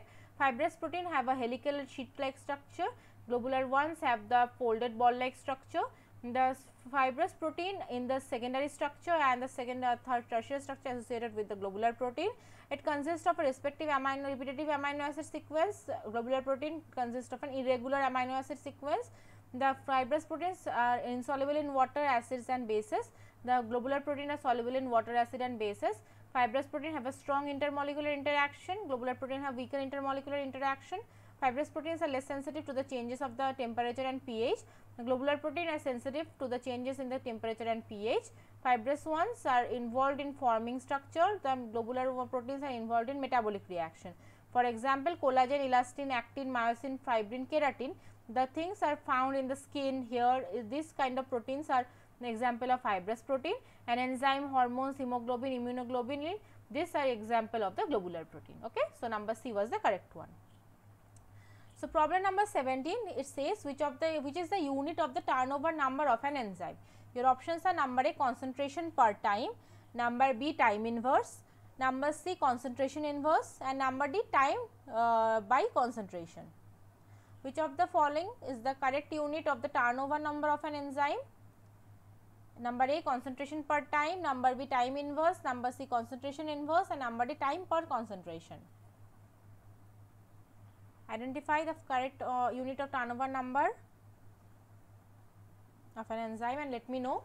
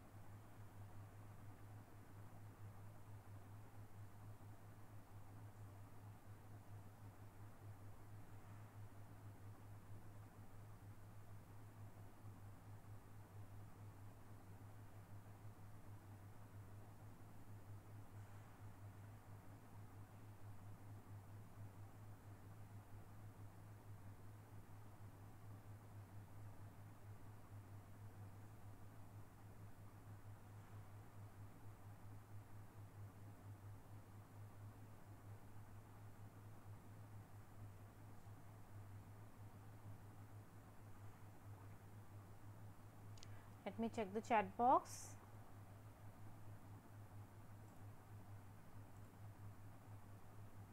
Okay, there is no answer till now. Okay, let me check okay, what is the correct answer and then I will tell you what is the turnover number of an enzyme. So, the correct answer will be the unit of turnover number of an enzyme is number B time inverse. So, what is the turnover number? So, turnover number also termed as K in the uh, your uh, KCAT uh, is defined as the maximum number of the chemical conversions of a substrate molecule per second that a single catalytic site will execute for a given enzyme concentration. Okay. So, it is the maximum number of chemical conversion of a substrate molecules per second that is uh, a single catalytic site will execute for a given enzyme concentration. Okay. So, K cat equal to V max by E t um, uh, for example, carbonic anhydrase has a turnover number of um, uh, 4 lakh to 6 lakh second inverse which means that each carbonic anhydrase enzyme molecule can produce up to 6 lakh molecules of the product that is the bicarbonate ion per second. Okay. So, this is the turnover number. We will discuss the turnover number in more detail in the next lecture in the next uh, because in the next week class we have the turnover number in more detail.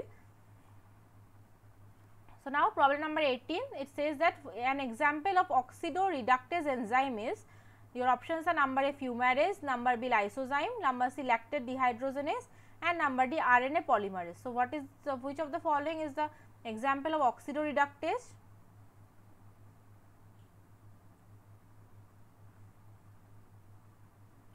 An example of oxidoreductases is which of the following will be the correct answer?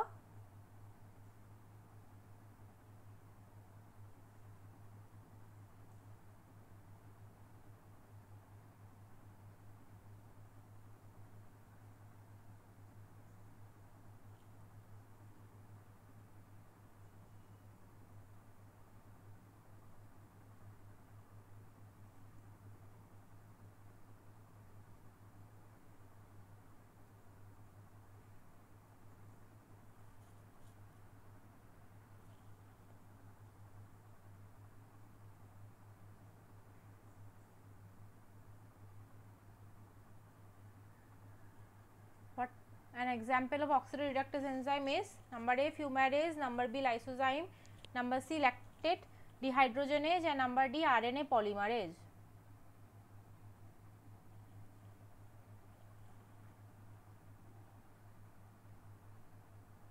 Let me check the chat box.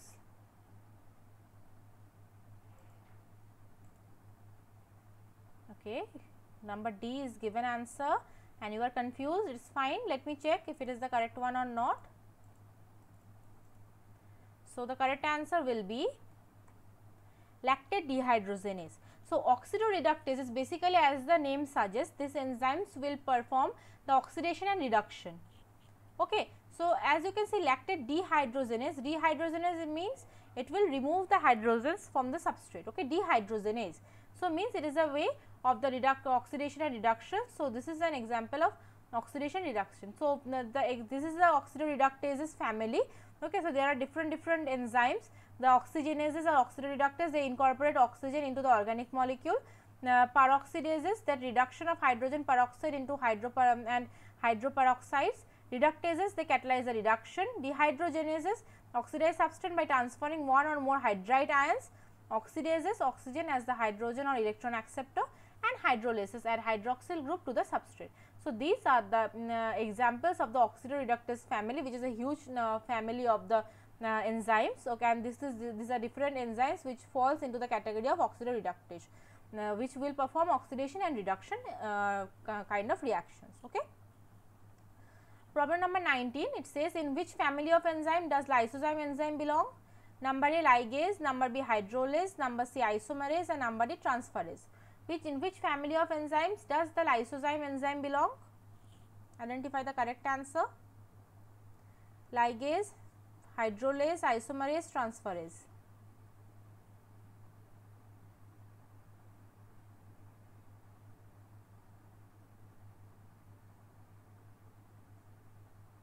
In which family of enzymes does lysozyme enzyme belong?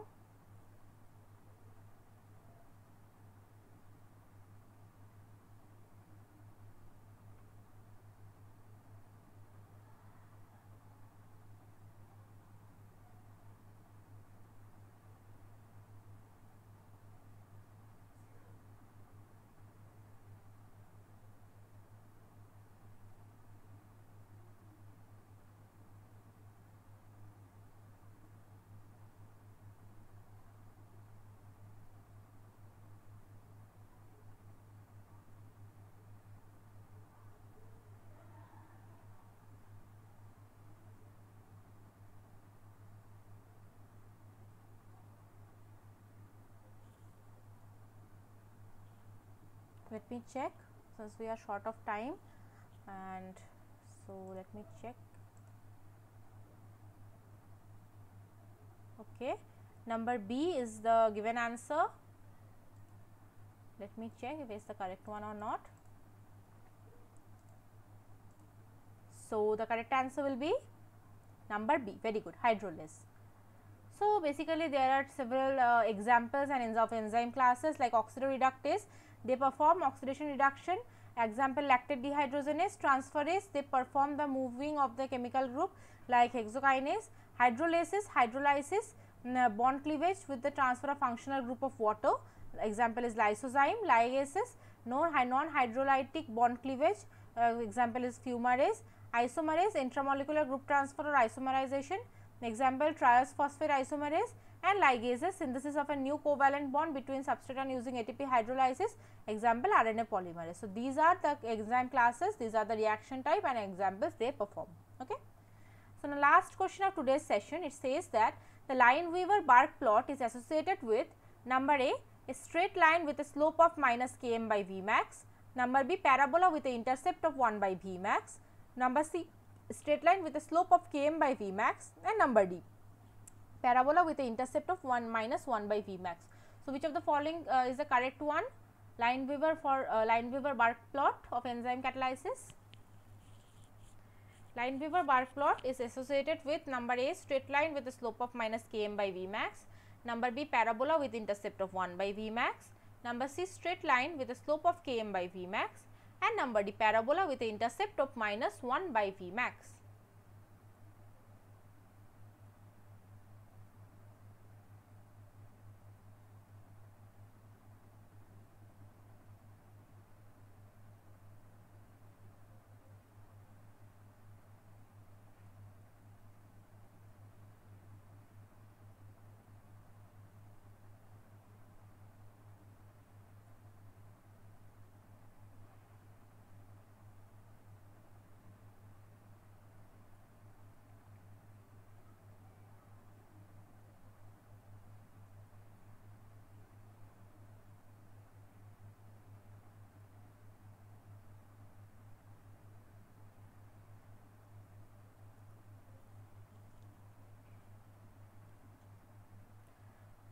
Which of the following will be the correct answer?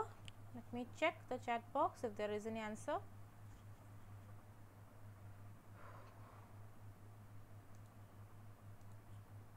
I have answer number C. Okay, let me check if number C is the correct one or not. So, the correct answer will be yes, it is number C. The straight line with the slope of km by V max is uh, which uh, with which the Lineweaver Burk plot is associated with. So, the Lineweaver Burk plot it is known as the recipro double reciprocal plot also. So, it is a problem related to the Michaelis-Menten kinetics is that fact that it may not sufficient data points to determine whether the curve is a Michaelis-Menten plot has reached to a particular maximum value or not. This means these values of for the maximum rate and Km are likely to be inaccurate. More accurate values of these properties can be obtained by plotting reciprocals of the rate and the substrate concentration to give a Lineweaver Burk plot. So, basically the Michaelis-Menten equation which we have right. So, it is very easy to reach from the uh, Michaelis-Menten equation uh, and uh, to the particular uh, Lineweaver bark plot. So, we know the rate of the reaction which is given by uh, V 0 right uh, or for the rate of the reaction in case of the Michaelis Menten equation I will give it as R equal to we all know it is the V max or V m into substrate concentration divided by K m plus substrate concentration right. So, in the Lineweaver Burk plot you just have to make it reciprocate. So, 1 by R or 1 by rate equal to it will be like K m by V m into substrate concentration plus when it, you make it a reciprocal what will happen we will have 1 by V max or 1 by rate max. So, if you compare it with a y equal to m s plus c, so what you get the particular straight line you get with the slope is k m by rate V max and the uh, intercept is the 1 by rate uh, 1 by rate max or 1 by V max. Okay. So, prostate uh, this one was the correct one. So, this was the today's last question. So, today what we discussed? We discussed about the different secondary structure, tertiary structure of the proteins, we discussed about globular fibrous protein, we discussed very much about the separation techniques of the protein and also we discussed about the enzymes and the enzyme kinetics. So, I think uh, the slides are clear and if you have any doubt and any query like always I say uh, reach me through the email ID, I will share my email ID today also uh, so, please uh, So, in the chat box there is my email ID if you have any problem, any doubt, any query about today's class or about the previous class also you can let me know in the uh, email ID. Also you can let know uh, let us know in the discussion forum of the particular the organic chemistry and biology drug development in the SWAYAM portal. This class lecture and the uh, PPT I will uh, upload it. So, where you have to found find it out I will just show you so, once you have this SWAYAM portal right. So, all of you can access the SWAYAM portal and uh, you know there is an announcement portion where the assignments are given. I will just show you once here. So, this is your uh, SWAYAM portal and in the SWAYAM portal we have the announcement portion where the and here you will have the link to the problem solving session. Okay. Okay, I think I have to just open it out once more. I will show you where to find this problem solving session.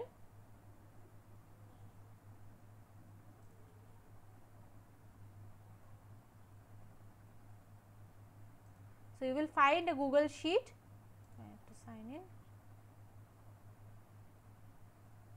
Yeah. So, you will find here is an announcement portion, this portion you will find there is a problem solving session. If you uh, click here, you will get the problem solving session recording. If you click on this recording, you have to click here and you will go to this kind of Google sheet where you will find the YouTube link and the Google folder link. If you click on the Google folder link, you will reach to a Google folder where the PPT will be uploaded and today's class lecture I will upload in a new uh, I mean uh, video link and I will uh, attach it here. So, you can find it from there. Okay. So, I think it is clear where to find the problem solving lecture and the presentation also. So, now I will close the session for today. So, thank you all for joining and answering. We will meet to uh, on the next Monday from the 6 pm to 8 pm class for our next uh, live session. So, thank you all. If you have any doubt, any query, let me know in the this email ID. Okay. I will close the session for today. Thank you.